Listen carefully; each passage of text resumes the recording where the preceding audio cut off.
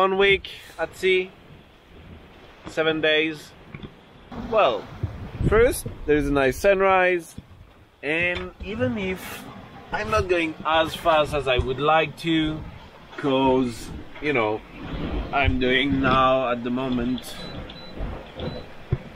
doing six knots when I would rather be doing like surf at 12 knots or I mean 12 knots average.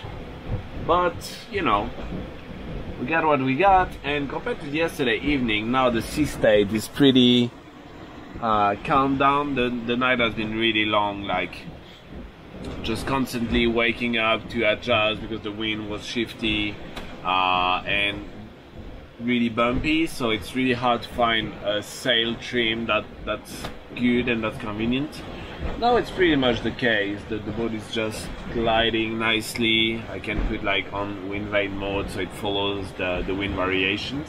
I'm gonna take a breakfast now. Probably today I'll listen to the rankings see a bit what we're up to. We sailed we sailed a thousand miles since the beginning. So it's pretty good as well. Now the day starts. Let's go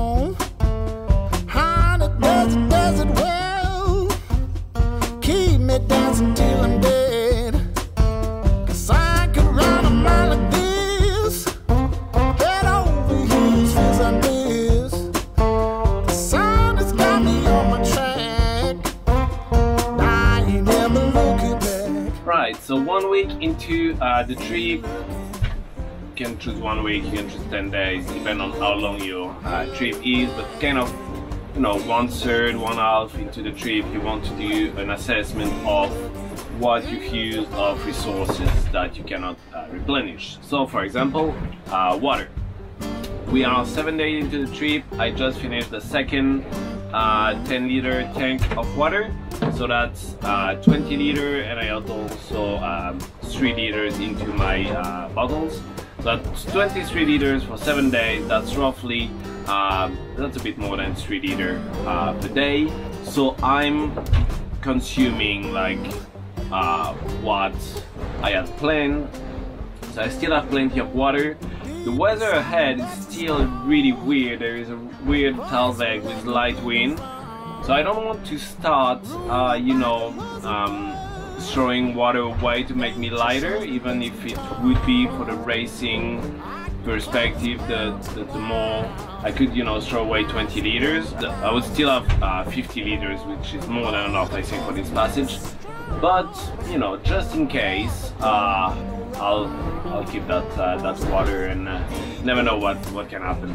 So yeah, that's for uh, the water. I'm consuming. I know that I'm consuming as planned, and I know that I still have plenty of water uh, to go. Now I'm going to do the same for the food.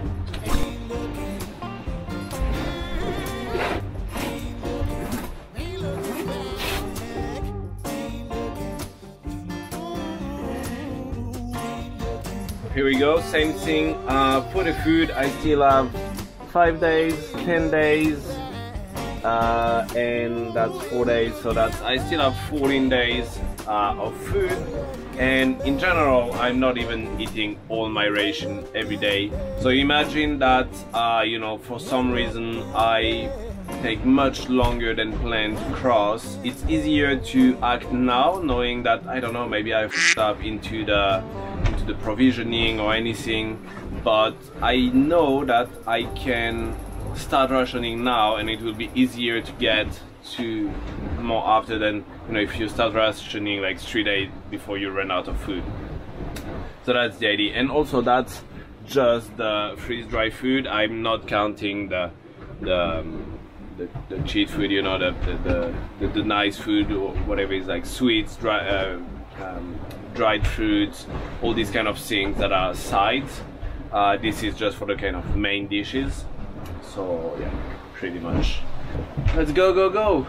still another at least 24 hours with light wind like this. So it's around midday now. It's really the warmest part of the day. Been working about around the boat a little bit earlier and now I'm just hiding inside. I just come up every 10 minutes to trim the sails and make sure the boat is going uh, well. But otherwise I just hide inside. Otherwise I'll be roasting out there.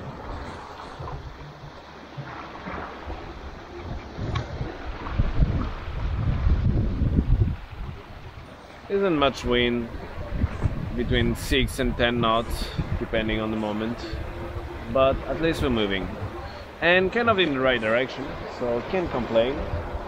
And also I haven't seen anyone for the last kind of 48 hours or a bit more which is pretty good for me. The others are probably somewhere south of me.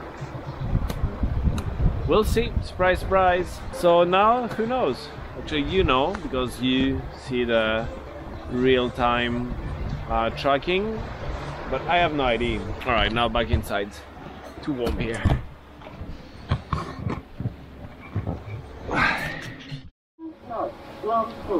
Pressure 1016, 1016.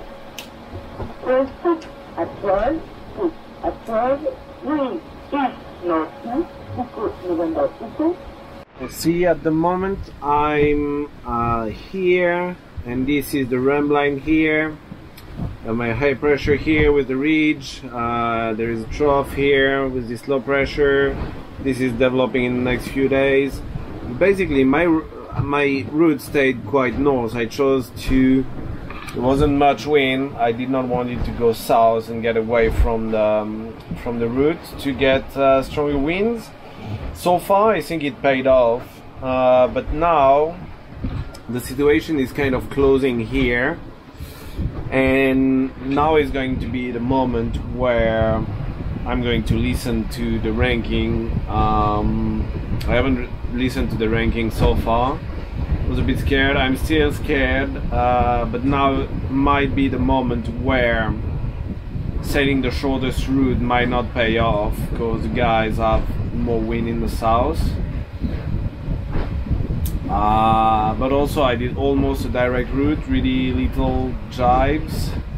So I don't really know. I don't really know. Uh, it's gonna be interesting to look at this back uh, debriefing to the race tracker.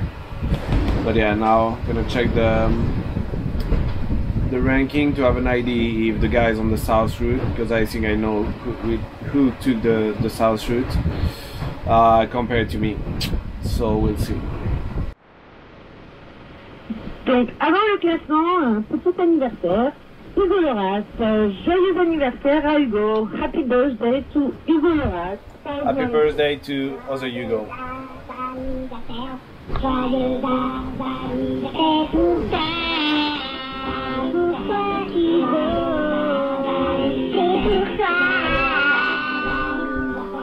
scary. This is horrible. I'm glad it's not my birthday. Okay. C'est le classement des bateaux de série à 8h TU. Production Boat Ranking at 8 UTC. Premier. First, 871, 871, Loïc Blin, second voile les entrepreneurs du Golfe, à 1672 000, 1672. Deuxième, 1014, 1013, Hugo Picard, LGB second. Team, à 1673 000, 1673.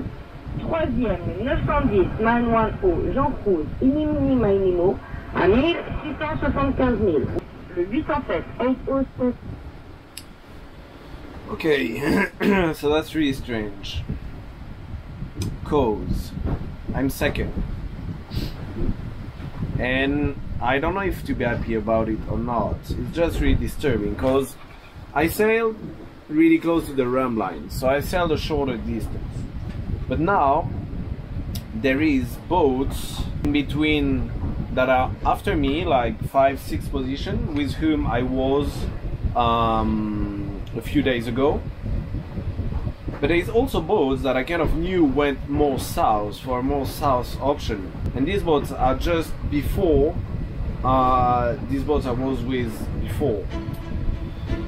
So it's really strange because if some boats went there, they got like more distance, but now they got more wind. But it doesn't make sense that the guy here actually goes slower than the guys here. So either I avoided a, a hole or something by going a bit more north. I don't know, that's really strange. Anyway, keep pushing the boat, keep moving, and then we'll see what happens.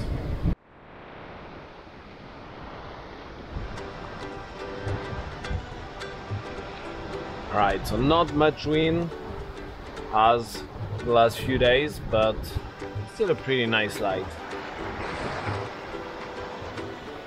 Not complaining.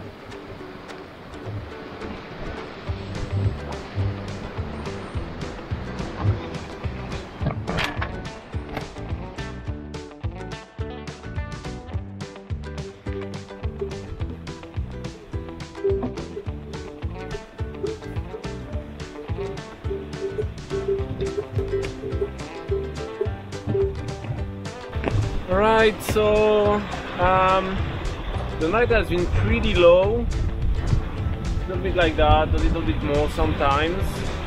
Keep moving. And this morning there is something that appeared that wasn't here next the last few days.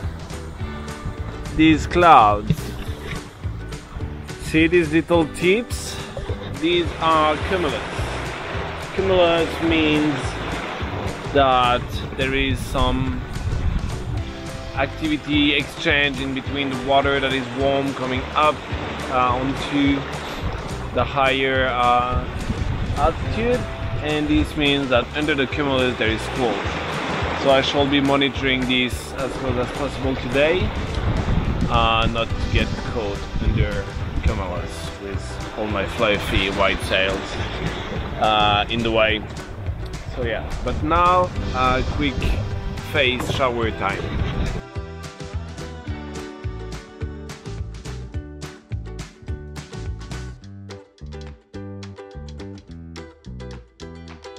Alright, so this morning I was telling you that, you know, some cumulus started to appear and indeed there is more and more of them. And one thing that is interesting to note is that you see how they have a shape slightly uh, sideways. Uh, this is good because it means that the trades are active, even they're not that active at the moment. It means that there is two masses of air, one like on the sea and one above. The one on the sea, the wind is blowing this way, and the one above, the wind is blowing that way. Which means that the circulation is going onto the, the high pressure and that's why they sideways like this.